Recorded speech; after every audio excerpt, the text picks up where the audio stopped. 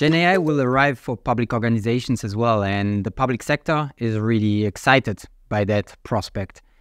We actually already have AI projects. Since the past five years, we have worked on the strategy at ministerial, departmental, state, and international organization level.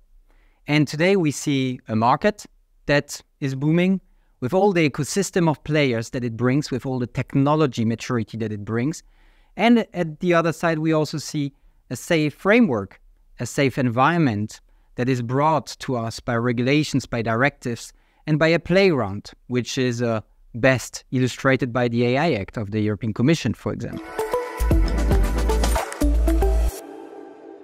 Today, public organizations face an inefficiency challenge with processes, heavy, trivial tasks that force the workforce to deal with rising complexity in quantitative and qualitative terms.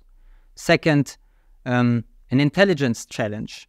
There is data, we sit on it practically, but we underutilize it. And here we will see that the technology can bring new potentials to light. And last, there is uh, an experience challenge.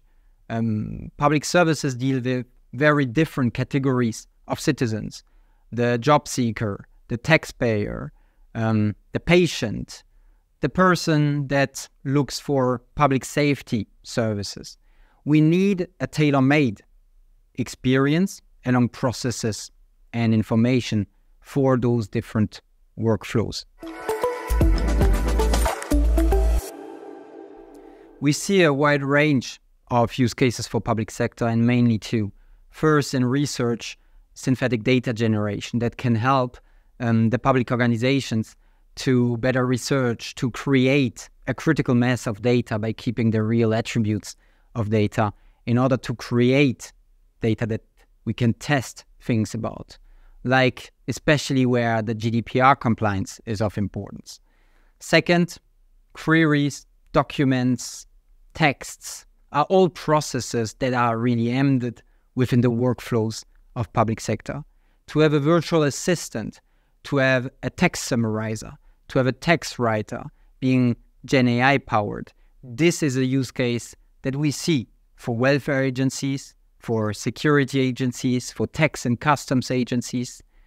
That is the reality of tomorrow for public sector.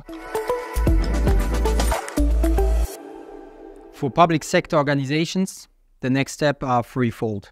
First, we will have to look at the advisory to implementation roadmap we need to be sure that the application of Gen AI will actually be of value. So we have to assess the readiness and to assess the use case in order then to best implement.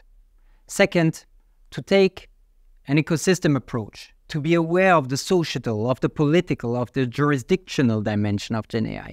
Gen AI comes with this mandate, and the AI Act is a very good illustration of this. Last but not least, we will have to always think of the value for the citizen, on how to apply the guidelines behind Gen AI applications, transparency, explainability, data compliance. All those guidelines need to be translated and operationalized into reality.